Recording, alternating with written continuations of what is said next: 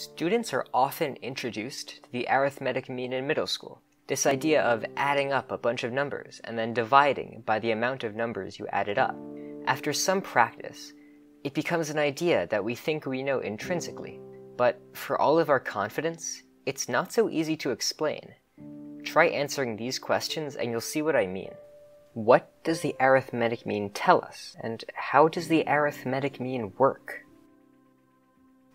We need a general understanding about the arithmetic mean and why we care about it before we can continue onwards. Let's say that we have the numbers 4, 7, and 13. To find the arithmetic mean, we add up all of the numbers, then divide by the amount of numbers we have. The number we get is our arithmetic mean. Ultimately, the arithmetic mean tells us where the center is, just like the median, midpoint, and mode. These numbers are called measures of central tendency, and they give us a sense of the data we are dealing with. But if these all find the center, how are they different? To answer this question, we need to consider what it means to be the center. We will define the center of a list of numbers as the point that results in the minimum distance between all points and itself.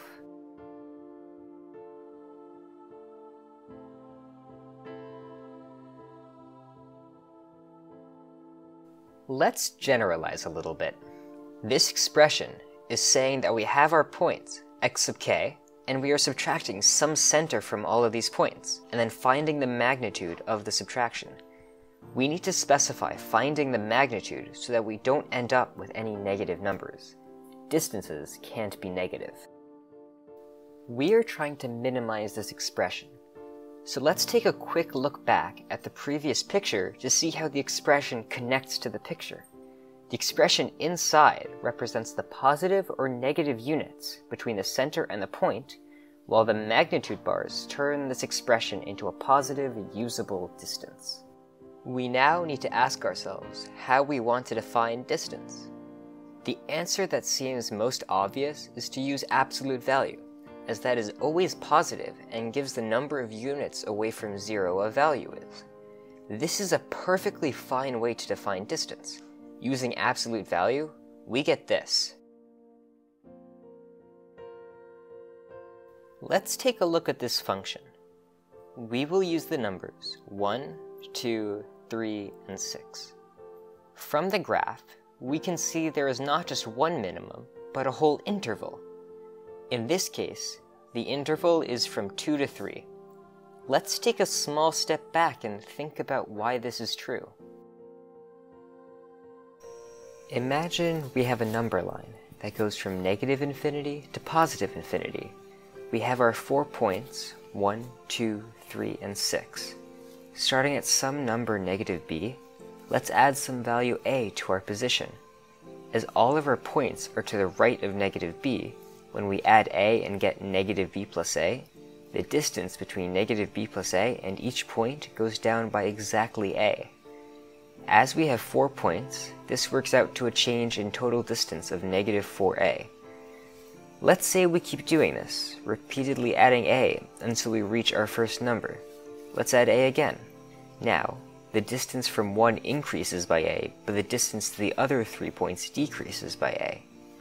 This gives us a net gain of negative 2a. Now we get to the second number. Let's add a again. Now we are moving a away from two numbers and a towards two numbers.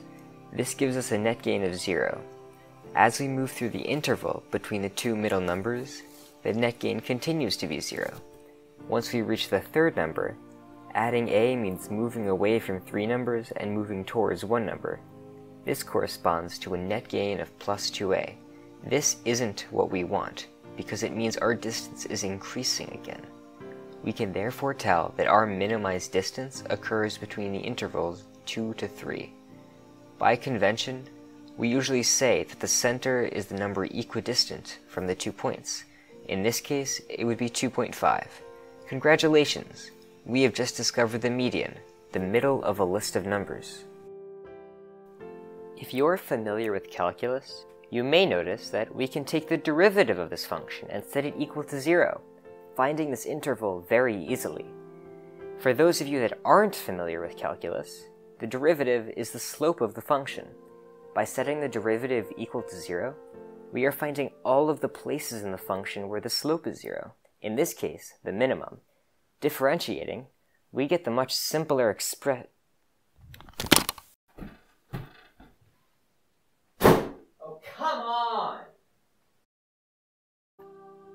Even if we did have a nice expression, it would be useless when we had an odd amount of numbers in a list and got a graph like this. This minimum point has an undefined derivative, meaning that we can't even use derivatives. While computers can find the median very quickly using what is known as the k-select algorithm, 100 years ago, nobody wanted to order numbers in a list then one by one cross them out until the middle is found. Despite the issues, the median actually offers a lot. Most importantly, it doesn't take into account outliers any more than any other number, which can be a good or bad thing. The median ends up being reasonably robust, but there is a reason why we use the arithmetic mean so much more. This reason is mostly due to mathematical convenience. Absolute values are just really annoying to work with as we've seen. Instead of using absolute value as distance, mathematicians decided to use squared values. Squared values are much less annoying. For one, polynomials are really easy to differentiate. Also, squared values end up positive, which is really important. Unlike the median, having squared values means that outliers matter more. Slightly larger numbers squared contribute to the sum much more than slightly smaller numbers squared. 10 minus 3 squared is 13 larger than 9 minus 3 squared, even though 10 is only 1 larger than 9. Let's take a look at the case where we have this. Let's use the numbers 1, 2, and 9 for this example. In this case, we have a nice differentiable graph the parabola will always have one minimum point regardless of if there are an even or odd number of terms. Now that we have this graph, let's see if we also get a nice and easy derivative. Remember that we are setting the derivative to zero to look for the minimum of this function. Taking the derivative, we get... Uh-oh. This doesn't look great. Let's do some algebra.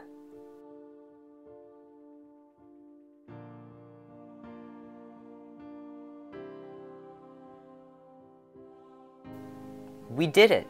It turns out that the formula for the arithmetic mean is just the derivative of a square distance function set to zero. This is the fundamental explanation for where the formula for the mean comes from. Hopefully now, every time you see the arithmetic mean, you will fully understand where it comes from.